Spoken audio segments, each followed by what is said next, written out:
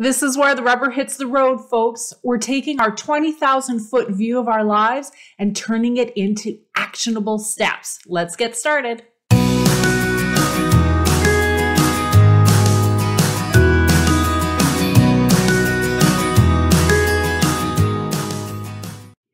Hey friends, it's Leanne, and our journey into creating some new habits is just getting started. Last week, we took a 20,000 foot view of our lives and all the different areas of focus in our lives. If you didn't do last week's exercise, I encourage you to check out that video and resource right here, and then come back to this video to learn how you can get involved into week two. And that's where we are, is week two, we're getting ready to dive deep. Now that we've looked at all the different areas of our life, we're going to identify a few specific goals and things that we want to work on over the next 30 days and those small actionable habits that would help us achieve that goal. But before we dive into this week's exercise, don't forget to subscribe to my YouTube channel and click on that little bell to be notified. I put out content for the meetings industry each and every week, and I don't want you to miss a beat. Okay, so let's talk about how we take last week's exercise and now drill down deeper into identifying some habits that we want to change and starting that today and over the next 30 days. Through the exercise, you identified what areas of focus that you may want to work on during this time when we have a little bit more time to focus on our areas of habits and goals chances are the areas of focus you want to work on fell into a category like work related activities or physical and health related activities, family and relationships, and so on. Again, if you review the blog post that goes along with this video over at leannecalderwood.com, you could look at all the different categories that we have set up for the different areas of focus. In that blog post, I've identified some questions that you might want to ask yourself about that particular area of focus. For example, if you want to focus on mental activities and exercise, let's ask some questions about your current practices. Are you currently meditating?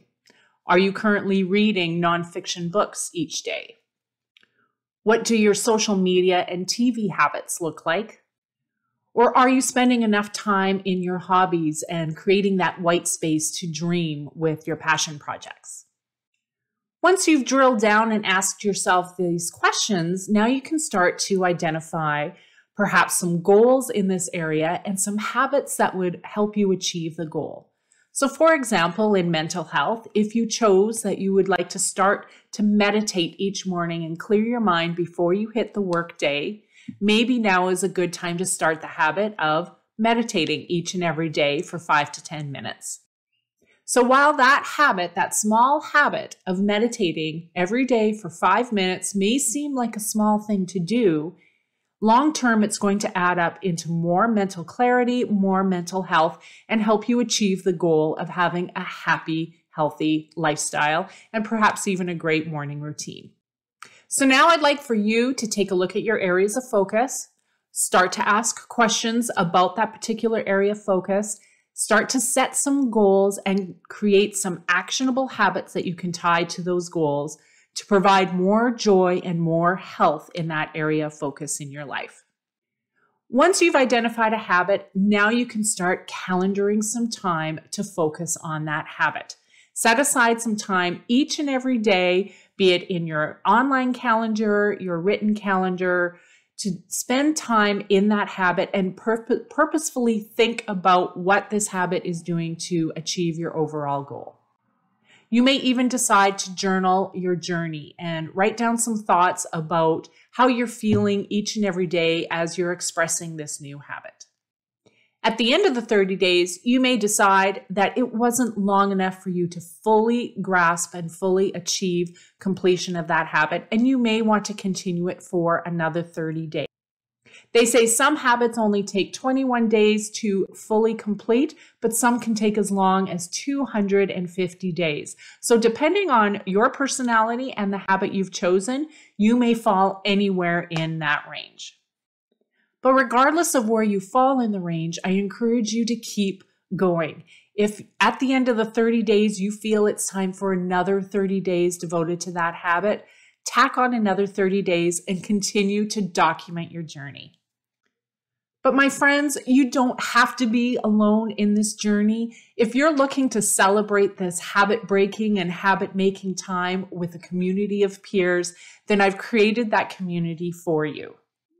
Should you decide to join me on this journey, not only will you receive a workbook that has some calendar and journaling pages, as well as some leading questions to help you identify what habits you want to work on, but you'll also get to chat with me and learn from one another once a week in a Facebook Live webinar. If you can't make the webinar, these are going to be stored in an online database that you can access at any time. In addition, that database is going to have other resources that you can download and use as you go through your journey. We're also going to come together in a private Facebook group to encourage one another answer questions, and provide resources as well. Who knows? Maybe the habit that you're working on has already been achieved by someone else and they can provide guidance and support for you as you're building your new habit. As I mentioned, all of these resources are going to be uploaded into an easy to access online resource library that you can reference at any time. This is lifetime access, my friends. So should you decide in six months to do another 30 day challenge, all the resources will be at your fingertips once again. To learn more, please visit this blog post over at leannecalderwood.com. All the details on how to join the community can be found there. There will also be a link to how you can get involved in the description below this video. So friends, if you're serious about a habit forming journey, this could be the time for you. And if this isn't the best time to take a deep dive into getting some new habits into your life, that's okay too. Timing is everything, and this might not be the right time for you. I do highly encourage you to take a look at the resources and see if this would be something that would interest you. And finally, everyone, this time is not to be taken lightly. There are a lot of people susceptible to the COVID 19 virus, and I encourage you to shelter in place if that is what your government and health officials have encouraged you to do. If you can work from home, I encourage you to stay connected with your peers through Zoom meetings, through social media, and through online communities. And of course, if you and I have not connected yet on LinkedIn, make sure you find me over there and send me a quick note. Friends, wherever this video may find you today, I wish you well on your journey to creating a happy, healthy, and joyful life. Bye for now.